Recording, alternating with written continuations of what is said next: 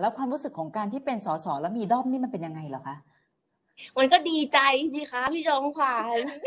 มันเขินไหมมันมันเขินไหมเพราะว่าเขินคือเราเขินเราเขินเราจะนึกใช่ไหมเราจะนึกไม่ออกว่าเขินสมากสมีด้อม คือการที่สสมีฐานเสียงใช่ไหมคะอันนี้เป็นเรื่องปกติ มีฐานเสียงมีคนเลือกมีคนไว้ใจอะไรอย่างเงี้ย มันมันปกติ แต่พอมีด้อมเนี่ย ก็เขินเขินแบบบางทีคือน้องน้องน้องน่ารักอะเออบางทีเราแบบโอ้แบบน้องน่ารักอย่างนี้เลยอะไรอย่างเงี้ย เราก็เราก็ดีใจอะค่ะ ลึกๆก็คือแบบ เราเรารู้สึกว่าความหวังดี ความความรักที่มีให้ เราต้องทำให้ดีที่สุดจริง ๆ อืมตอนตอนครั้งแรกตอนครั้งแรกที่ที่เห็นด้อมนี้เนี่ยนะคะก็ยังถามโปรดิวเซอร์บอก ฉันไปอยู่ไหนมาวะไม่รู้ว่าสมัยนี้สสมีด้อมด้วยว่ะพี่ขอพี่จังหวัดเคยเห็นก่อนหน้านี้ไหมไม่มีใช่ไหมเพิ่งจะมีอันนี้เหรอคะหรือปะ แต่ก่อนก็จะเป็นแบบเดี๋ยวก่อนอัดคอร์แนวแบบคอไม่การส่วนใหญ่มันจะมันจะมันจะถูกตีความว่าแบบเป็นแฟนคลับเป็นฐานเสียงใช่ไหมคะ เป็นแบบคนที่แบบชอบอะไรเงี้ยแต่คือแต่ความความมีด้อมมันจะเป็นอีกแบบ มันมันมีบุคลิกอีกแบบความมีด้อมอะ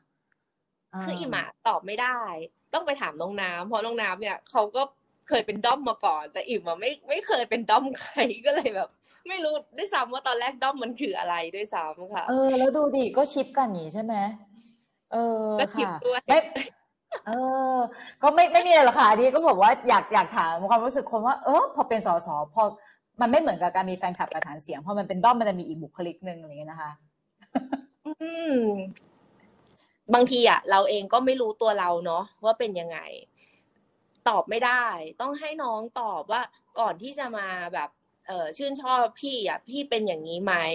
หรือพี่เปลี่ยนไป อันเนี้ยตอบไม่ได้แต่ถ้าถามตัวเองตัวเองก็ยังเป็นตัวเองอยู่ไม่ได้เปลี่ยนแบบอืมก็อืมอิมคิดว่าอย่างเอ่อเวลาที่น้องๆได้ได้ได้มีโอกาสเจอกันอะไรอย่างเงี้ยค่ะอิมก็คิดว่าเขาเขาก็มีเอ่อ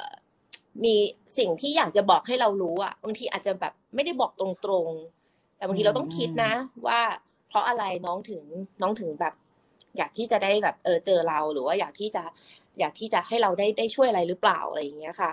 ว่ามันไม่ใช่สิ่งที่แบบเกิดขึ้นแล้วแบบไม่มีอะไรหรอกอะไรอย่างเงี้ย มันต้องมีอะไรแหละ มันต้องมีอะไร อืม